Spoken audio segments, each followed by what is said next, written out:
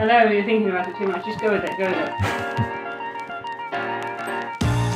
You got a minute? Alright, here's how to start a company. Go to the Companies House website, click the button to register a new company, create a user ID. You are the director and the shareholder and the person with significant control. Give them your details. It's a company limited by shares, one share of one pound. Pick a company name. The registered address is public, put your house if that's fine, or rent a registered address from a private company. Say you are trading immediately so HMRC registers the business. Don't stress about SIC codes, pick the closest one. Don't mess with the model articles. Pay Companies House £12. Next, Save every code you just saw. Read every email you receive. Get business insurance if you're going to take anyone's money. Register with the ICO if you're handling anyone's data. Get a company bank account open. You can start work before you have the account. Bookkeeping. Write down everything you earn. Write down everything you spend. Write down whether it's from the personal or the company bank account. Keep all your receipts. This is not full bookkeeping. That'll get you through the first month. Get everything straight after the first month.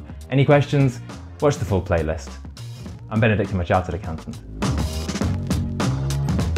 52 seconds.